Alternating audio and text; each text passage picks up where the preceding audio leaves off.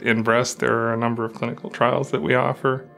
We have basic science researchers who are, you know, furiously working up in the labs, to tr- in, including me to some extent because I do run a lab, um, trying to find better treatments and better diagnostics.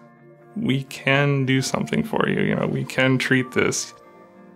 I mean, I'm fortunate in that one of the reasons that surgery is interesting is that most of the patients that I see don't have metastatic disease. So most of the patients that I see can be long term survivors. Um, which is something that I, you know, I reassure that even ones with locally advanced disease that yes, you have a, you have a fighting chance.